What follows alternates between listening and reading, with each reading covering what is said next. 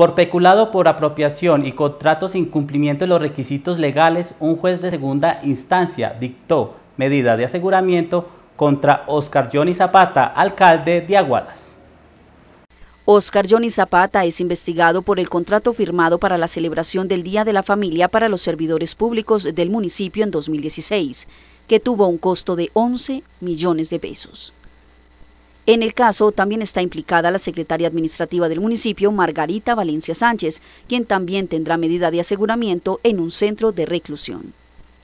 En primera instancia, el juez negó la solicitud de la Fiscalía para que ambos funcionarios fueran a la cárcel mientras se desarrolla el proceso. Sin embargo, contó Clara Irene Giraldo, directora de la Fiscalía en Caldas, ante la sustentación en primera instancia y ante las pruebas del ente acusador, decidieron llevar el caso a segunda instancia, donde, abro comillas, el juez revisó la decisión y consideró que habían suficientes elementos para poner la medida de aseguramiento en contra del alcalde de Aguadas, cierro comillas, aseguró Giraldo.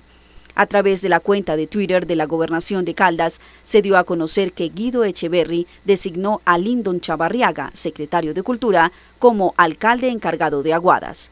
En el trino precisa que Chavarriaga se desplazará inmediatamente al municipio para asumir el cargo.